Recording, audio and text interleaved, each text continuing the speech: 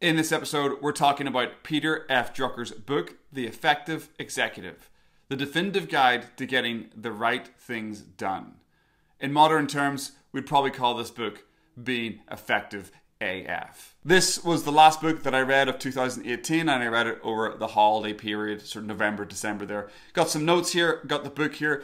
Really gonna dive deep into this. Uh, Peter Drucker is, or I would describe him as the modern day father or grandfather of business thinking, business strategy, sort of a business philosopher. He really was the granddaddy who started it all, all the business books and the, the writing the books to be effective for CEOs. And back in the day when really the main way for people to be successful in life or the, or the parameters was being successful in a, a corporate environment. Obviously, the landscape has changed quite dramatically. Entrepreneurship is now the new sort of CEO ladder climbing champagne career. But the principles in the book are as true today as they were 50 plus years ago when Peter Drucker was teaching them and longer ago when he was actually using them himself because he was not only a author but he was a successful business owner, successful coach and he consulted some of the top CEOs, presidents and others of that ilk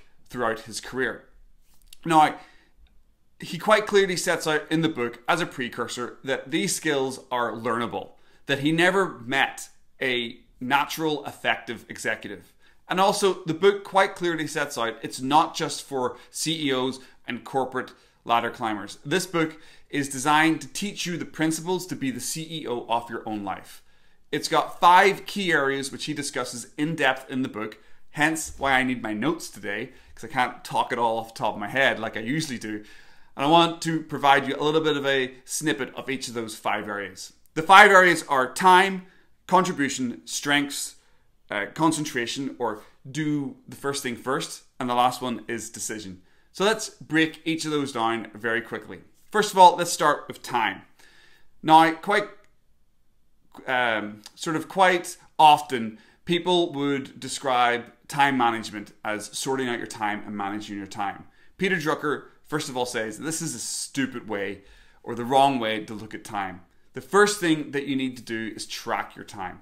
This was a bit of a revelation for me. I've heard this before, but never really sank in until I heard how Peter Drucker described it. If you track your time, not only do you see where you're wasting time, but you'll also see who are the people in your life who waste your time.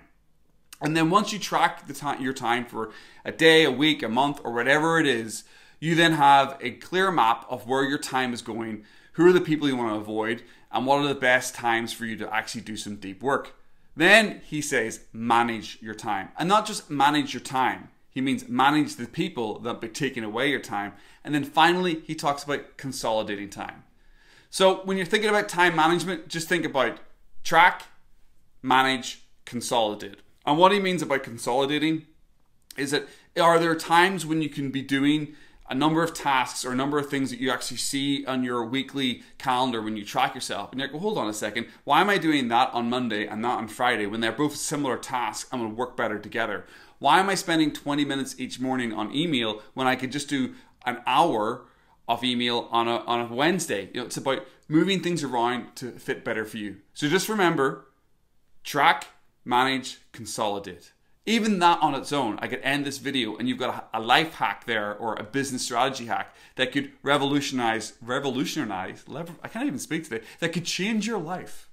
Moving on to the next one is contribution. This is another uh, fantastic idea coming out of this book. And a lot of times when you read some personal development books and you read entrepreneurs talking about find your passion, this is kind of what Peter Drucker was touching on, but more in a business uh, aspect and a, a little bit more what I described in a practical aspect. He was saying, wherever you are today, whatever you're doing, whether with your family, with your friends, within the workplace, or your projects, in each of those areas, what's your contribution? What, what's your success statement in those areas? Like, if you're in a relationship right now and you have kids, your contribution to that relationship and that and your family might be to be the best person possible for your family. In the place that you work right now, you might be, have a passion about a certain aspect of the job, let it be customer service or sales or marketing. So your contribution is to be the best in that area for your organization. But how many of us spend a lifetime not actually thinking about the contribution we want to deliver to our friends, to our family, to our work, or to our projects. Without actually clearly thinking about what we're contributing on a daily basis, we could probably let a few weeks, months, years, or a lifetime slip by. So I really find this part of the book very inspiring. And in fact, I would say it's probably the part that really stood out to me the most because I might have a success statement for my life, a general kind of, you know, fueled by passion every day, you know, with integrity and consistency. I try to bring the joy and remember to have fun. Something along those lines. I try to think about those words in each day integrity, consistency, fun, and joy. And, and I try to work towards them. But I've never really taken a statement for each area of my life, whether it's with my, with my wife, with my job, or with my projects, and really spell out what I'm contributing. The next area Peter Drucker talks about is strengths. Again, this is something that I've been quite familiar with um, in my personal development journey. A lot of the really good teachers out there, from the Tony Robbins to the Dan Sullivans who run Strategic Coach, to people like Joe Polish who uh, are on I Love Marketing, Eben Pagan, other fantastic marketers, uh, success coach people, and, and entrepreneurs, they very much talk about this.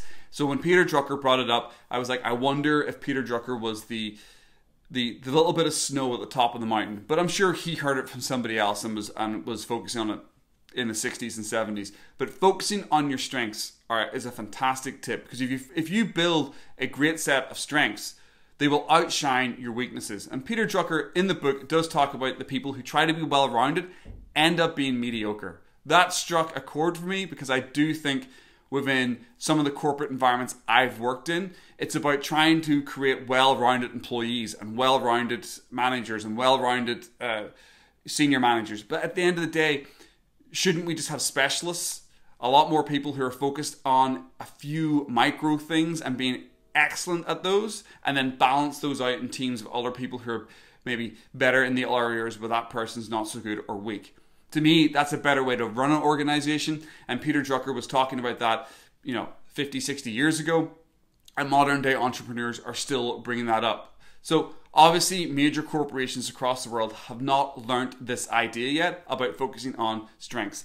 I can certainly tell you, the school system hasn't because when you're bad at math or English, what do they make you do? More math or English. They don't. They take you out of sports, which you might be great at, to do extra work in math and English because they think that that's important. Now, it might be because everybody needs basic math and English, but that can knock somebody's confidence by taking them out of something that they're really enjoying at the time and forcing them to do something that they're not rethinking and focusing on the strengths is to incorporate some math and English into someone's sports world. You know, try to link the two together, but not take the person out of doing sports. I mean, not to go off on a side rant there about strengths, but it is a very applicable example of where we can get things a little bit mixed up in this modern day, where we're always trying to create a well-rounded employee or well you're trying to be well-rounded yourself rather than actually looking at what your strengths at and then doubling down on those for a couple of years and seeing where you can go the next one is concentration or in the book he calls it first things first this is the next tip out of the five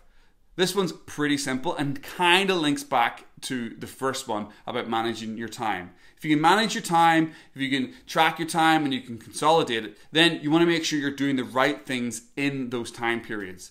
Now, he talks about having big, deep areas of work. He just doesn't talk about setting out 90 minutes to do a little bit of work. He actually talks about trying to concentrate and do massive action over periods of half days, weeks, or even two weeks. So Peter Drucker was really pushing this deep work philosophy that I've heard other authors talk about recently about doing the deep work and, and creating these like windows of of of uh, you know hot hours or power hours to really push the needle forward in your life and in your day. But yet Peter Drucker 56 years ago was saying this is how you get things done. Half days, weeks, or two weeks, just focusing on one key driver in your life. That kind of blew me away because I'm a little bit of a dabbler. You know, I've got full-time job, got a YouTube channel, got a blog I'm trying to do, and I tend to do little 20 minute, half hour, hour here, two hours there. But yet what Peter Drucker and his experiences and his book are telling me is that I've actually got my system and my day and my weeks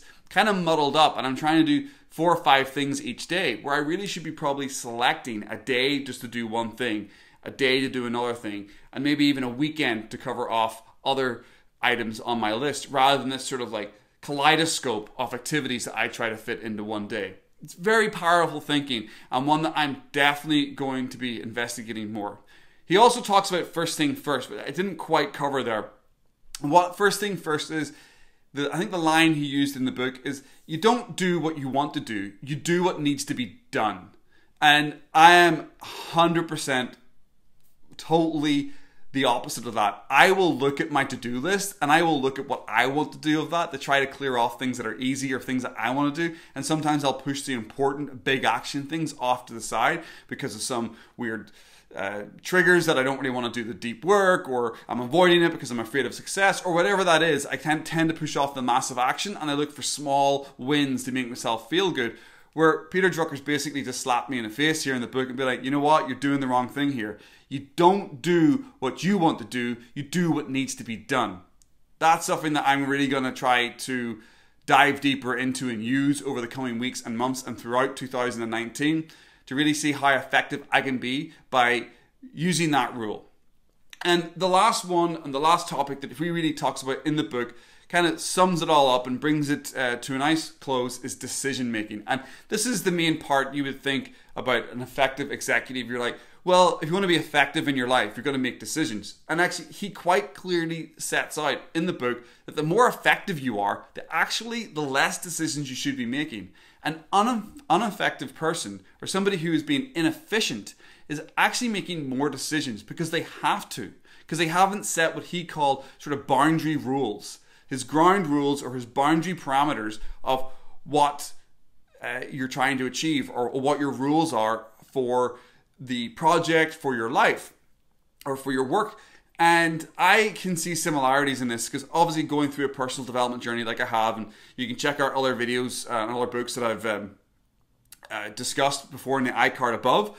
But the other things that I've learned so far in my journey uh, through personal development is you know trying to have some rules and structure to your day like having a morning routine having an evening routine. I try not to eat past seven o'clock at night. There's certain foods are no good for me. There's certain times i don't want to be out by. And i have those parameters in my life. So when something comes along and it's a decision to be made but it fits or it comes and it's cha- comes into my life and it's challenging a already set rule or boundary parameter in my in my day i don't have to make a decision because it's automatically no I'm not going to go out for a meal at nine o'clock at night with people because I don't eat past seven o'clock at night. I'm not going to go to bed at 12, 11 o'clock at night and sit up and watch a movie because I want to see that movie. I'll watch it the next day because I want to be in bed by nine o'clock because I get up at five in the morning and one of my ground rules for my life is eight hours sleep. So anything that affects that, it automatically gets a no in my life. And this is what he's talking about. So you take that kind of principles and those kind of ideas and you spread them out throughout your life and throughout your day. And anytime a decision comes along, it's not a decision. If it's breaking your ground rules or it's breaking, breaking your boundary uh, parameters, it's just an automatic no. There's no decision to be made there.